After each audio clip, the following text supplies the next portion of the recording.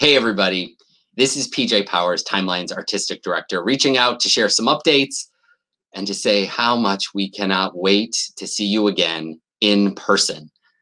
Our team is working as hard as we can to welcome you back for live performances as soon as we're able, while keeping the health and safety of you, our artists, and our staff at the forefront of all of the planning. I know you're curious about what plays are in the works and when they'll be happening. The pandemic caused quite a backlog of shows that we'd previously announced, and we're finalizing details about exactly what can be included in our 2021 22 season and what will then roll over to the following season. Starting this December, we plan to be back with our Playwrights Collective First Draft Festival, featuring free stage readings of four new plays that have been developed over the course of these past two remarkable years.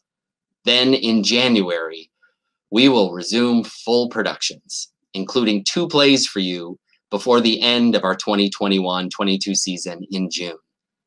We'll be back in touch soon with more details about what those plays will be, when they're happening, and details about how you can renew or become a FlexPass subscriber.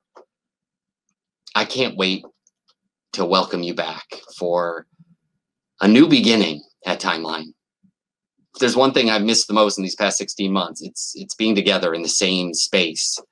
It's connecting through something other than a webcam.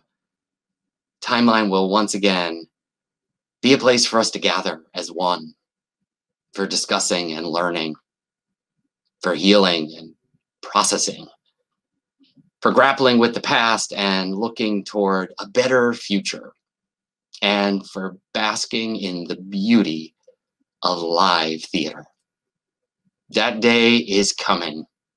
Until then, take care, and we'll be back in touch again soon.